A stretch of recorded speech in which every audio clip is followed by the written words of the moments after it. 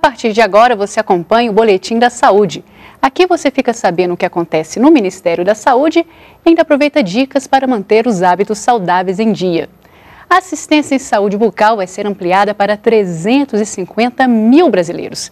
Isso porque 117 mil unidades odontológicas móveis já começaram a ser distribuídas por todo o Brasil. Essas unidades têm a mesma estrutura de um consultório padrão e vão beneficiar populações de rua, indígenas e rurais.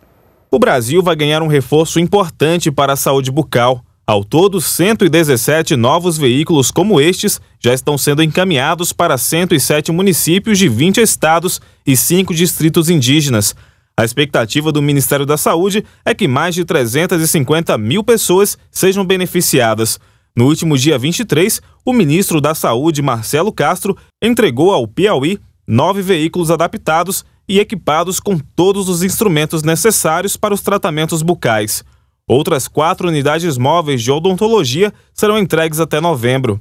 É, pessoal carente no interior precisam realmente de atendimento né, odontológico.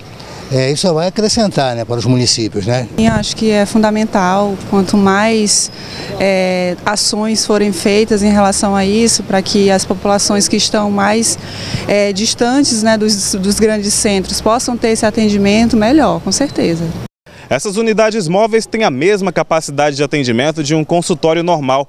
Elas darão assistência odontológica às populações que moram em áreas rurais, quilombolas e assentamentos do interior do Piauí.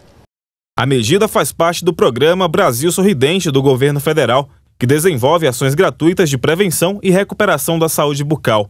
Com a entrega desses novos veículos, o Brasil passa a contar com 302 unidades móveis. O programa conta ainda com mais de mil centros de especialidades odontológicas em todos os estados do país. Desde o canal, a ortodontia, a implante de dentes, tudo isso é feito é, gratuitamente através desses CELS, desses centros especializados. Ainda durante a passagem por Teresina, o ministro Marcelo Castro assinou um convênio entre a FUNASA e o governo do Piauí para criar projetos de saneamento básico em 100 municípios piauienses. Serão investidos 16 milhões de reais para obras de abastecimento e esgoto no estado. Nós sabemos que cada real aplicado em saneamento, você evita de aplicar posteriormente cinco reais em tratamento. Então é uma prioridade muito grande do Ministério essa parte do saneamento essa atenção de prevenção para evitar que as pessoas venham adoecer no futuro. O sol forte desta época do ano é um convite para usar óculos escuro. Mas quem acha que o modelo mais bonito é a escolha ideal pode estar correndo risco de prejudicar a visão. A primavera brasileira este ano chegou com cara de verão. É sol forte praticamente nos quatro cantos do país, por isso, a procura por óculos escuros aumenta. Eu comprei mais por estilo, no caso, né? Aí eu gosto de andar no estilo, na verdade. Eu comprei, achei estiloso, tô usando ele no dia a dia. Tem um momento assim que você exclui um pouquinho no dia a dia, quando tem sol mais quente, não é verdade? Mas o Douglas e muitas pessoas precisam ter mais atenção na hora de proteger os olhos.